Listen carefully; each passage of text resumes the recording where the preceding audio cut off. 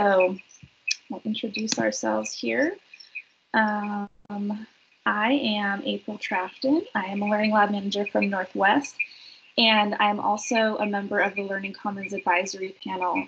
Um, so I've been on the group with the group for about two years. So if you have any questions at all about the service model um, or really anything related to Learning Commons, let me know. And if I don't know the answer, I can find out for you. And um, so I'm excited to share what I know and help answer any questions that arise.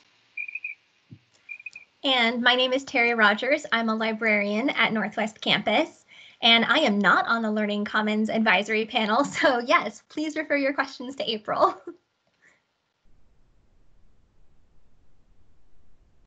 I just muted myself for no reason. Okay, so the first thing that we're going to do is a little icebreaker that'll give you a chance to um, sort of non-scientifically match up with one of the areas of the Learning Commons service model. So um, Terry has posted the link to this quiz in the chat. So take a minute, click on that link, and um, as you finish the quiz, go ahead and post your, your um, results in the chat. Uh, if you feel brave and you want to just say your results on the mic, feel free. Everybody's welcome on the mic. Um, so go ahead and, and follow that link. If you have any trouble accessing the link, let us know.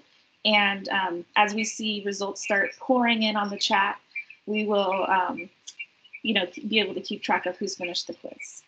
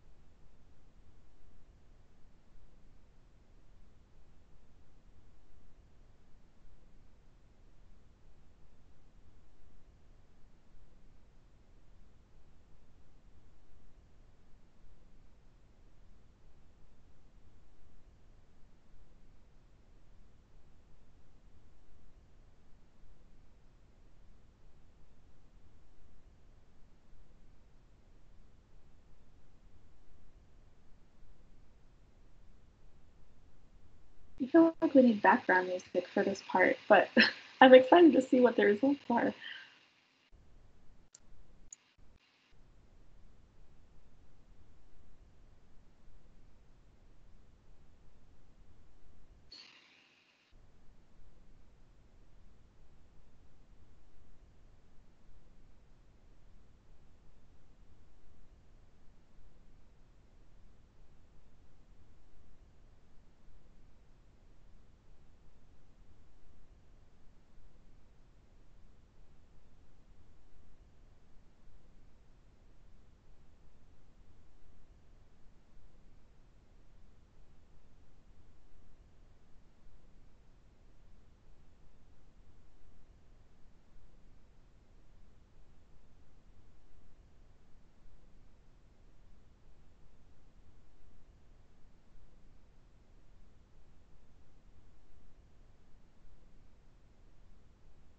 Looks like lots of support in this little breakout.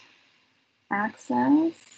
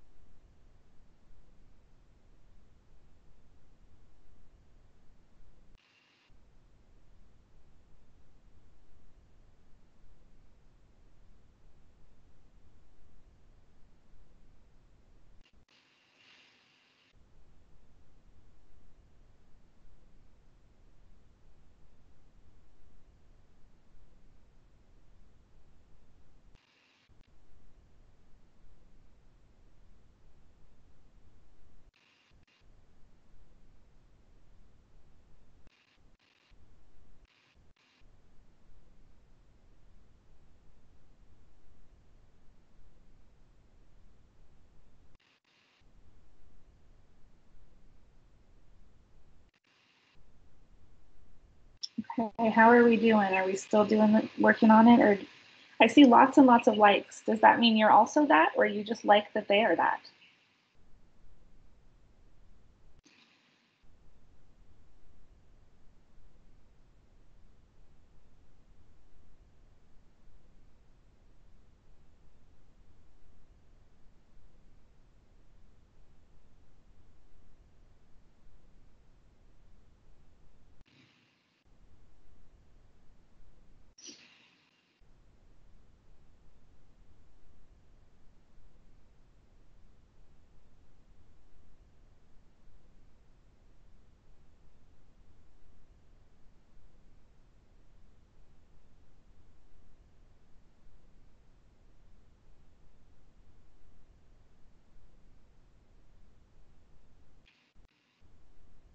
All right. Um, Terry, what do you think? Should we go on and people can just finish up as we're going through? Absolutely. Okay, awesome. So if you're still working on the quiz, that's fine. Um, we're just going to do kind of a little overview of what we're going to do, um, what the activities that we're going to do. So go ahead and finish up, and you know you can continue to post your your results in the chat. All right. So maybe it'll go to the next slide for me. Awesome. So one of the things that um, come, has come up as we've been doing this work on the Learning Commons is that sometimes your job title doesn't necessarily represent the work that you do. Um, we have, you know, standard job titles that lots of people across the district hold, but the work that each person does that fills that or that has that job title may be very, very different. So think about your job title and the work that you do and and think about whether you think it's a good match. Like your job title if somebody reads that or they hear that that's your job title they would have a really good sense of what you do. And if it doesn't what job title would give that um, that good informative um, title to your this isn't making sense. What job title would you give yourself that would inform others about what you do? So just keep that in mind uh, we'll post those in just a few minutes but if your job title is a good match, great. And if it's not, um, go ahead and think about what um, job title would.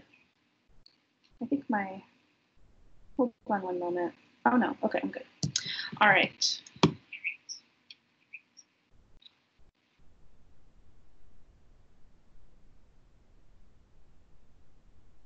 Okay. Terry, do you want to give a little walkthrough of the gallery walk? Sure. So we're going to do an exercise where we think about the results that we just got from our little 100% scientific personality quiz um, and and our roles within the learning commons to see how our roles fit in what other people are doing in the learning commons and how we support each other and with a, with a normal gallery walk, you would go in a physical location from station to station and think about a question and post your response there. We're going to do it virtually, so we have a Google Doc um, that we will share out where you can add your responses and, um, and we will discuss. Okay. Terry, are you able to post that in the chat? Yes, I just posted the Google Doc link. Awesome.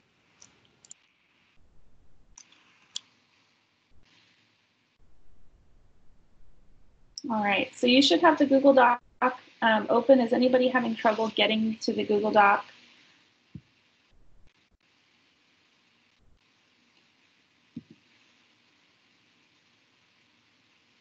Okay, awesome. So um, in this area, go ahead and put in the job title that you would give yourself, and um, we will see what we come up with.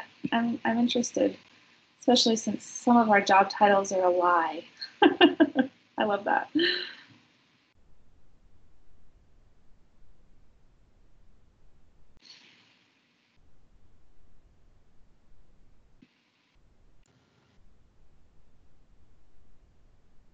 Okay, Edward, I see your comment. I don't know that I'm able to grant you access because I am not the creator of this document. Um, but if you want to post your responses in the chat, or you can just, anybody can hop on the mic and I can record your response for you in the Google Doc.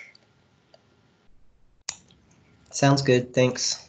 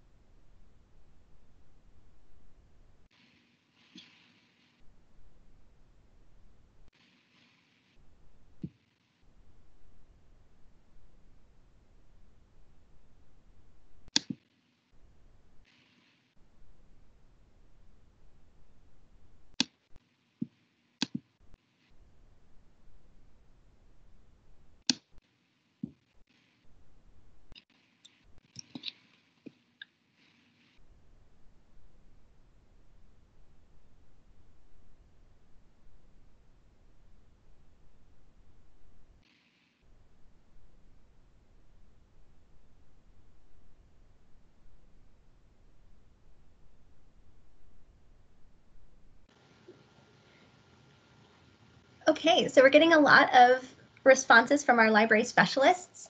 Um, and it looks like quite a few of them think that the job title describes what they do pretty well. Um, I love this one, even if people have misconceptions about what's available in the library, my purpose is to show them. Um, and I think that's fantastic. Um, we do have one uh, coordinator of academic support services, but it looks like most of what you do is instructional design and faculty support. So that's interesting. So do you think that that job title coordinator of academic support services fits, or would you call it something else?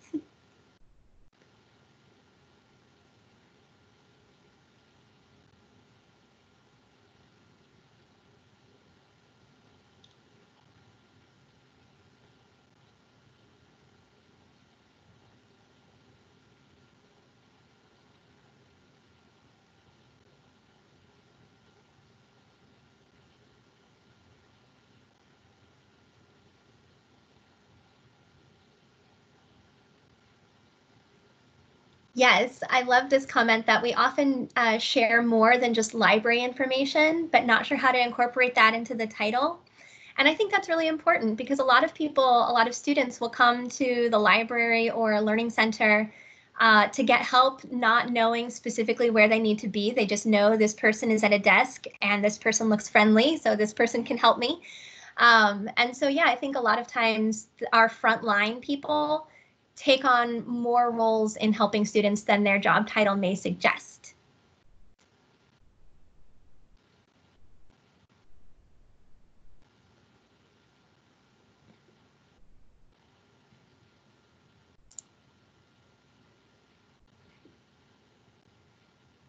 So Edward here in the chat says that his current job title is Assistant Director of Student Development Services and that that can be a bit vague um, as you do a lot of things um, in the co-curricular realm as well.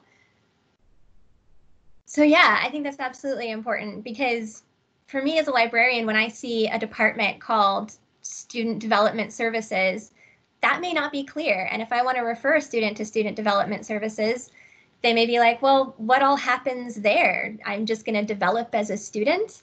Um, so yeah, maybe uh, maybe something a little bit more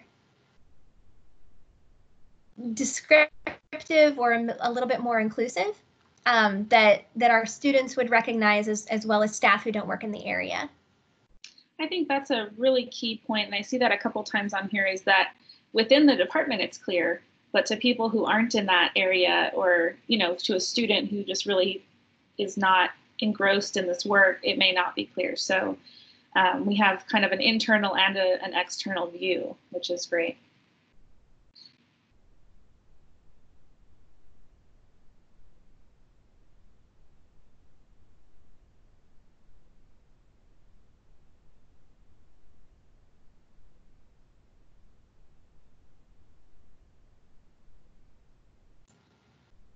Okay, I see folks are still typing in and that's fantastic and we can come back and refer to this later.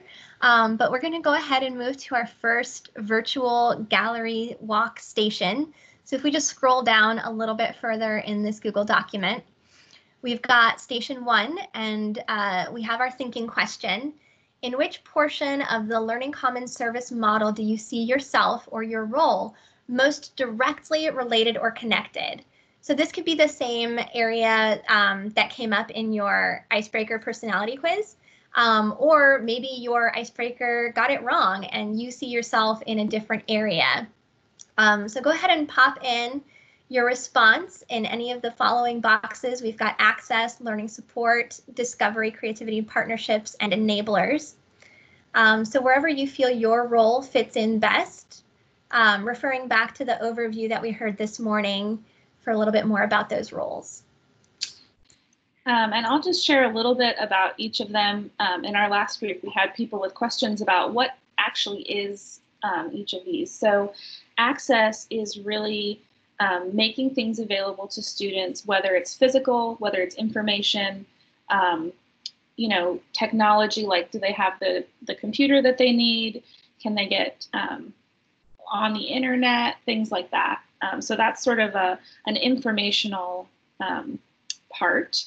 And then learning support is really things that we know as tutoring, um, like workshops? Um, is there anything that helps with students with academic work outside of the classroom? And so those are sometimes formal, sometimes informal. Um, they can take a lot of different forms. Um, discovery and creativity is probably the one that puzzles people the most. And that's because currently at TCC we have um, only pieces of this and it's sort of fractured. And so this is things like how do we get the community actively involved in TCC, uh, specifically in the Learning Commons, and use the resources that are available? How do we get faculty to partner with support staff? How can support staff uh, support faculty in their courses, outside of their courses? How can the library support faculty with re research? How can the, um, you know, things like that. And then also makerspaces. And that's more than just, um, some, some people think of them as sort of arts and craftsy, but that, that's only one aspect of it. So it could be anything that is making something new specifically to solve a problem. And so um, we've talked a lot about how do we get the right people together that are working on a similar problem or that maybe aren't working on a similar problem but could be and they can each contribute to that solution. So it could be digital could be 3d printing could be physical like um, metalworking it could be um, you know podcasting all kinds of different uh, formats but it's really creating new things and finding out what is possible. Um, and then the last one is enablers which is really the under current of all of this. So technology is driving most of this. Um, we want to make sure that students have access to services on campus, but also off campus, so that there really is, um, you know, as long as they have internet, which can be a barrier, but um, they can access services from anywhere. Um, how is the, the the Learning Commons organized? Are people trained appropriately? Is there appropriate cross training?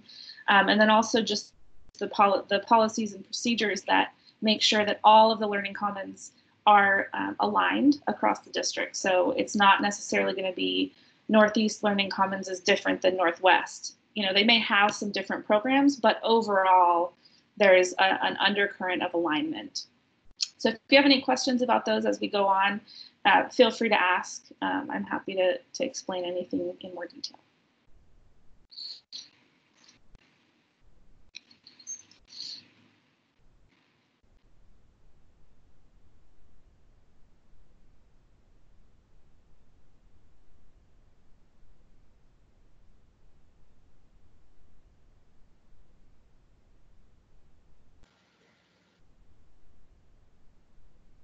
So I'm just going to start going through some of the responses that we're seeing.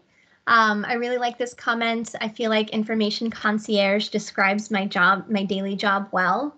Um, and I think for somebody in the access area or who sees their job mostly in access, that that might be, um, yeah, an appropriate uh, appropriate job title because our students are coming to these people to get information, technology, resources at the point of need. And the folks in this position need to know where students can go to get all of that, even if they don't offer it in their department themselves. So yes, this is this access is a role where you will be not only providing direct access, but referring students to where they can get access. And faculty and staff as well, because we don't just serve our students here.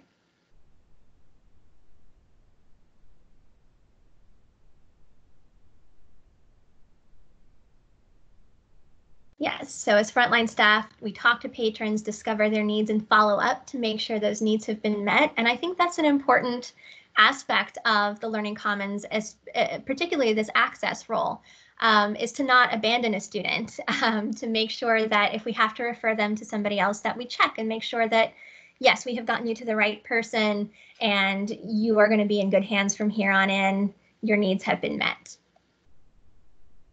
Learning support the development of workshops and giving of them has been previous projects that I've headed, and that's fantastic. Um, a lot of times uh, we give workshops to our own peers, um, or sometimes we are training our staff, and so that might fall into um, learning support or workshop creation. And, and that's a way that our role can fit in that doesn't necessarily directly uh, involve students, but we're still supporting people within the Learning Commons. I Um, think it's interesting that so many people got support as the quiz results, and then there's only one line of support in this. That's so fascinating.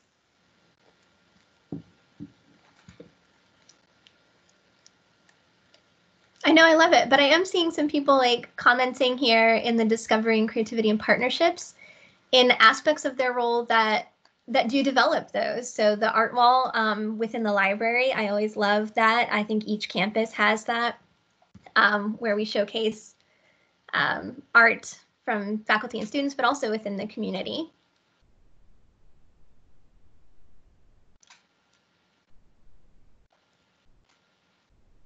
Yes, absolutely. Giving webinars to faculty to get their courses online.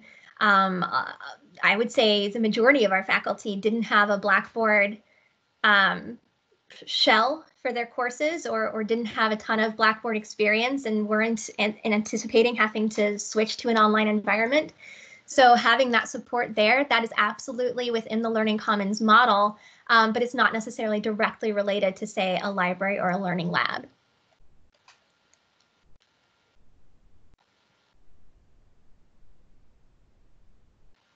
Yes, and partnering with faculty by giving library instruction. Um, and I think that's one of those important uh, faculty partnerships within a Learning Commons because while faculty are the subject experts for their field, um, people who work in a writing center or in the library would be a subject expert within that field and could lend our expertise into uh, the classroom. And providing reserve materials, absolutely.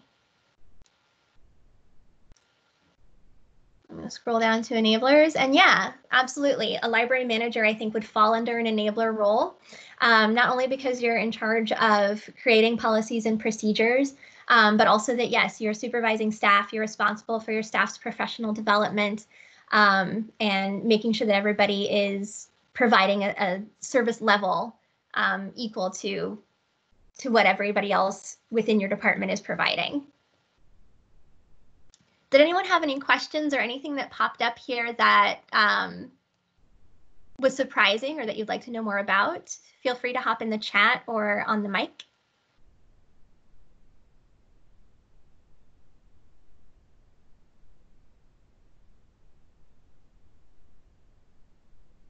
Okay, I'm going to take a silence as no. so I'm going to go ahead and scroll down to our second uh, gallery walk station.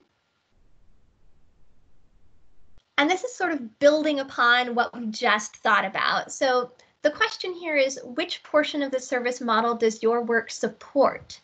So this may be a part of your job that you don't do regularly, um, but that uh, comes up from time to time. Uh, so for example, I'm a librarian, but I know how to check materials out. So I might support access by being able to go and, and help a student at a different desk if they needed it. Um, but this is also um, thinking about maybe how an administrative assistant might be a support role for the enablers or um, for access by uh, purchasing materials that the people in that department might need. So think about how your role supports another role within the Learning Commons. And if that wasn't clear, just hop on chat or the mic and let me know.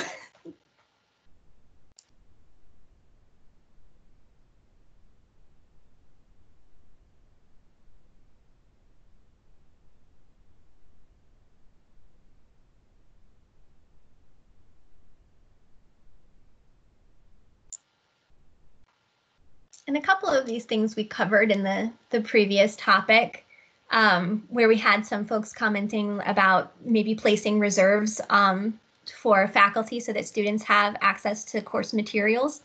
Um, that would absolutely be a way that, um, say, Access uh, supports this learning support environment and also the, the faculty partnerships there.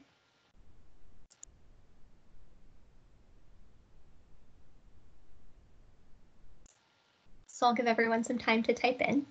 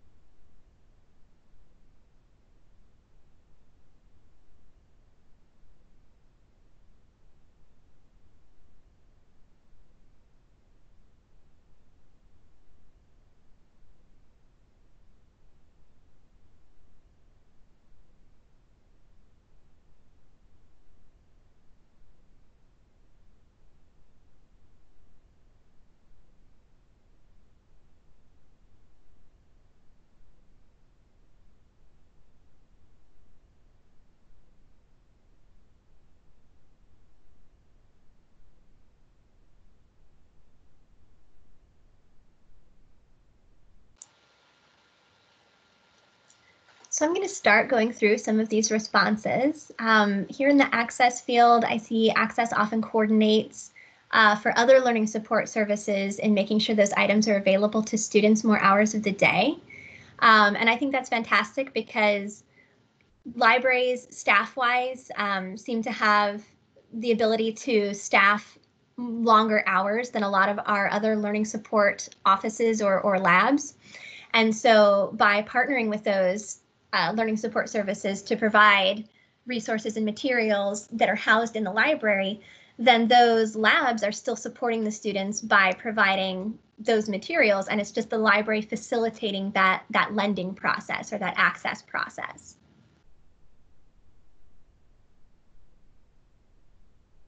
Yes, the Writing Center providing writing guides that aren't available through the library or in the bookstore.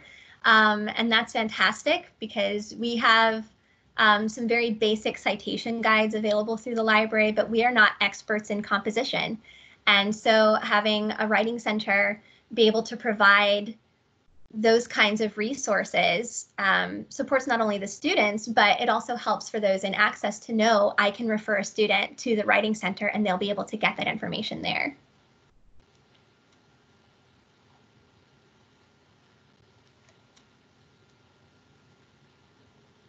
And yes, patrons often come to the library when they're unsure of where to go or who to ask. Um, and that refers back, I think, to that information concierge role, um, where uh, frontline staff, um, I think we see it a lot in the library, and I, I, refer there just because I, I work in that area, but I think all of our learning labs experience that, where a student will walk in and see, oh, this person is behind a desk, um, this person can help me. And I think as we learn, move more towards a learning commons model, we're all going to be a little bit more cross-trained in, in learning where to refer students. learning support. That one looks like it's not quite complete. Um, but here in the discovery, creativity, and partnerships. So um, I work in a learning lab and often support Writing Center staff as they partner with faculty um, and help mediate those conversations. So yeah, so maybe somebody who's typically in an enabler role would also support this discovery and creativity and partnership by acting as a liaison um, between departments um, or between uh, faculty in a lab. Uh, and making sure that uh, we're doing as much as we can without over communicating. And I think that's an important role as well, um, because faculty can feel sometimes, I think, overwhelmed uh, with the amount of information that we want to give them. And so just making sure, or over committing. Oh, I read it wrong. I'm sorry, April. uh, but yeah, managing uh, staff time and uh, resources within a lab and and staff availability is absolutely one of those resources. I totally agree with over communicating though as well. okay. Sorry. Freudian slip, man, that's that's my problem. so it's so true. All right, so then we've got another part of the library's work is to help faculty and staff with their own educational and research needs. Um, and yeah, I think that's absolutely uh, an important role to mention there um, because when faculty think of, of the library or the learning labs, they think of how those support services can support students. And they don't always make that connection that those uh, support services are there for faculty and staff as well. So yes, absolutely. That is a great way to, to build a partnership. Um, and then showing students how to use library technology as um, printers and copiers. It's amazing how um, how many students come through and they've never had to use uh, a copy machine. Or our online printing system is, is super strange and uh, definitely requires at least a walkthrough the first time. Um, so helping students learn how to make technology work for them is also important. We have a lot of specialized software that I think students have to access did anyone see anything within this area that sparked an interest or a question or anything that they'd like to, to go over or talk about a little bit further? You're welcome to hop into the chat or on the mic.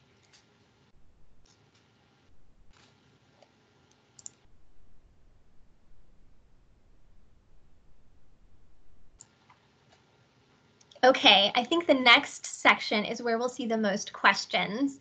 We're going to scroll down to Gallery Walk Station 3.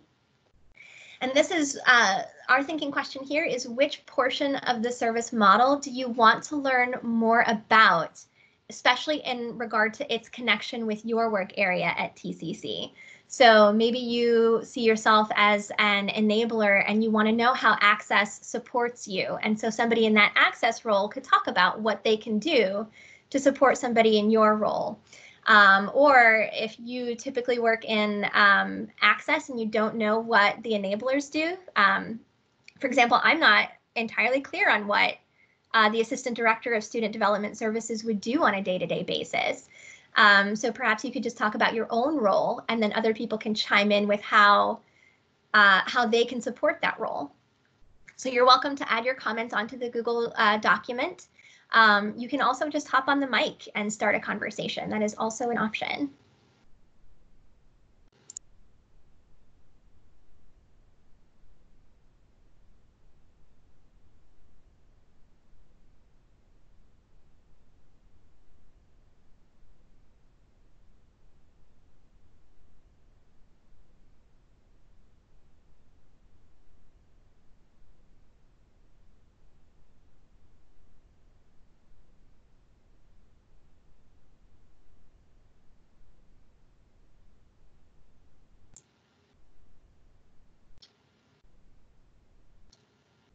Okay, I'm going to start with what what's already been entered. Um, so we have someone whose bulk role is solidly in this group, uh, in the access group, I'd like to know more about how the labs function in their day-to-day -day work roles. So is there anyone in the group who works in a lab who would like to talk a little bit about what your day-to-day -day looks like?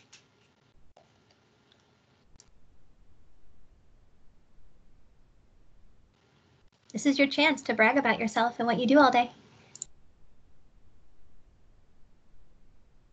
We may be a group of mostly library people. Um, that, I was just thinking. Based on roles, but I, I mean, I work in a lab, um, but I think this is a really good um, point in terms of professional development. So one of the things that is crucial in the creation of the Learning Commons is that everybody who works in the Learning Commons knows what everybody else does. And that is um, absolutely critical for making appropriate referrals, for sharing workloads. I mean, there's, you know, there's talk about who's going to sit at the concierge desk or stand in the concierge uh, area because it may not just be one location. It may be all over the place, especially if the Learning Commons is not co-located. So, you know, everybody's going to be able to to share information with students. They may not be the person who actually does that job, but they can tell that student who does and, and what they need to do to access it and when that workshop is and how they register and all that stuff. So I think that's a really good point um, that I know that the professional development team is working on and we're creating a list of training and and more than training but like understanding points I guess that everybody needs to have in order for this learning commons to actually work.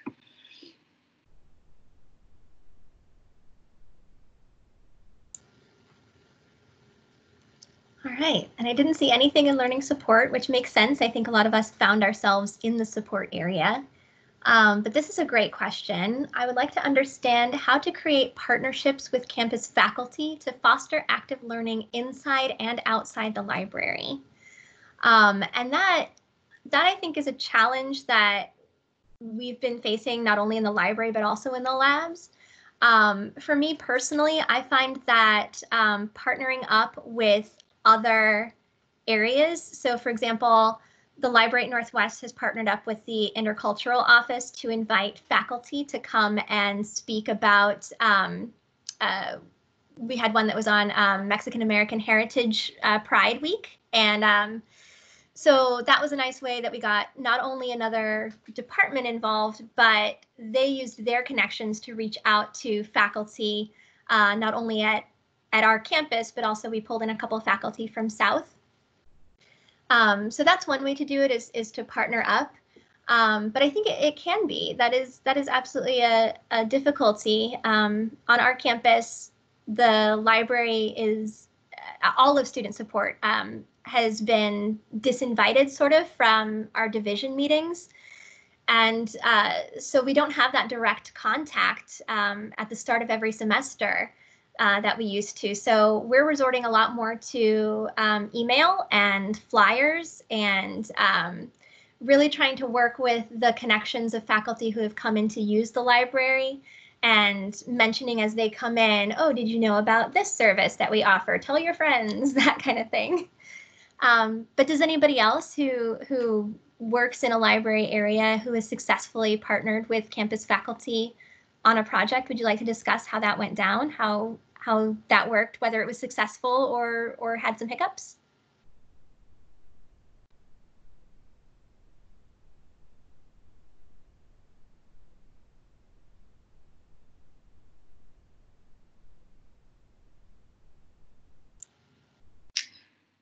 one of the things that the Learning Commons um, has there's a there's a work team that's surrounded two work teams actually that are surrounding this and one of the things that we've sort of tried to um, start framing up a little bit is how can we package services so that they're simple for faculty to just plug into their course?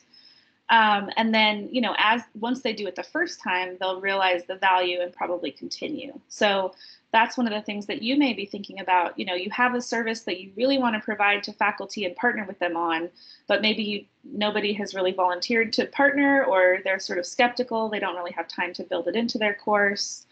Um, but, you know, is there a way that we could say, here's what we can do for you. These are the steps that need to happen. This is the timeline. And so it's a super easy kind of plug and play style um, to break that first uh, barrier. And then you know once they've partnered at least once usually they're more uh, receptive because they realize the benefit. And really it's not that labor intensive for them. So if we can do most of it on our end you know they may be more likely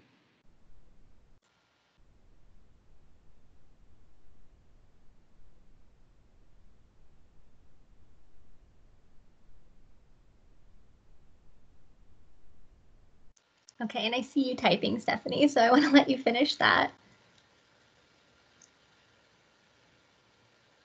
So how can we leverage our internal relationships at work to move some of our services online when our jobs are easily done in a face-to-face -face environment?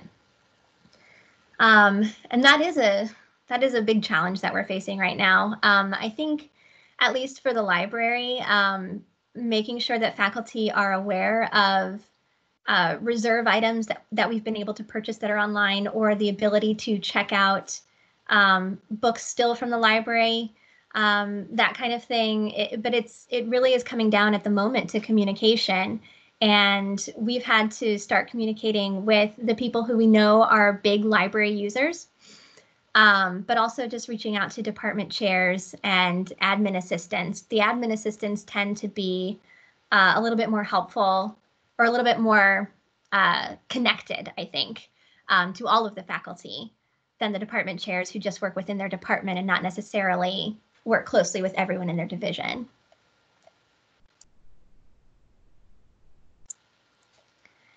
And I'll let you finish typing in that uh, discovery and creativity area, but I wanted to get to this question here. I would like to know more about how IT managers will support staff who are supporting students.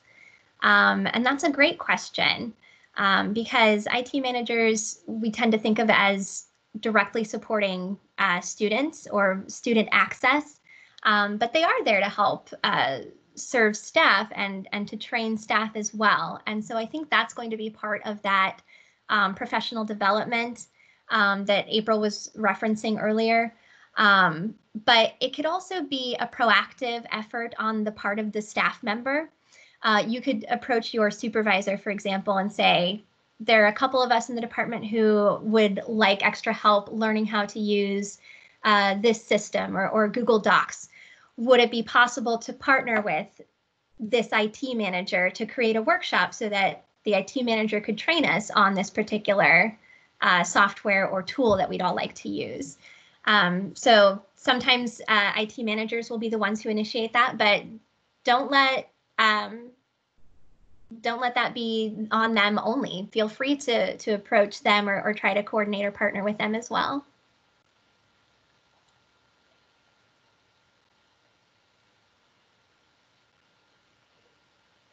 Oh, Ashley, I see that in the chat that you started an online book club and online gaming event at Northeast Library to stay connected with your patrons. And I think that's fantastic. Um, because yeah, we we are spending a lot of time here talking about supporting faculty and staff, but it's important to stay connected to our students.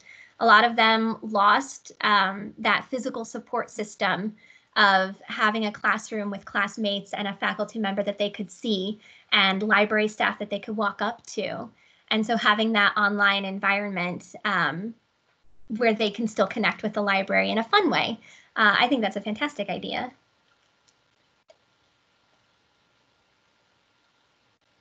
Okay. IT has been viewed as back-end help, and I think we need to bring them over to the light side. I like that, Stephanie. I hope you tell that to Brandon. Um, uh, but no, yeah, um, at least on our campus, Brandon has been um, uh, really helpful in the forefront. But no, I agree. I think it would be helpful to bring um, IT out uh, among the other departments and to really integrate in because there may be technology uh, tools that we're not using or not using to our full capacity um, that would not only serve students, but would also help make staff and faculty jobs a lot easier.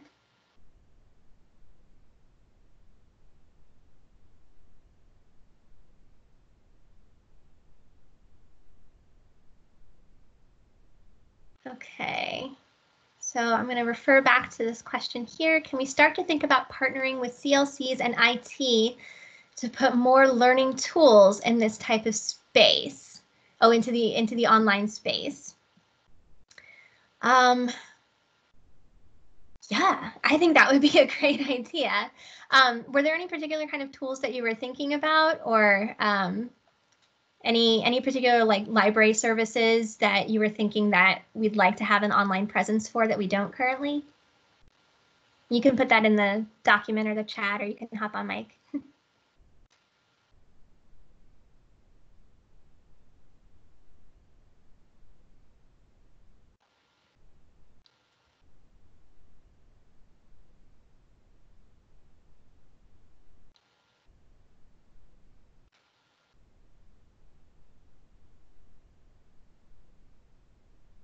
Some of the software for ADA, absolutely. Um, and we've been we've been uh, coming up against that issue as well um, on Northwest Campus, and I haven't heard anything uh, from district IT in terms of how to how to meet that need. Um, is anyone else in the meeting? Has anyone else heard anything about uh, um, bridging that ADA gap? Through technology, whether through um, Blackboard or, or any other online environment?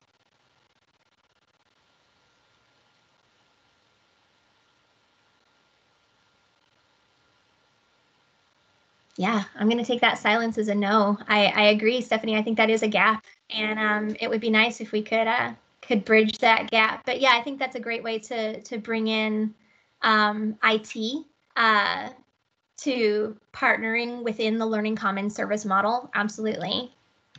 So I think that um, excellent conversation, everyone. I think we need to head over to the general session. Um, doesn't it start at 12?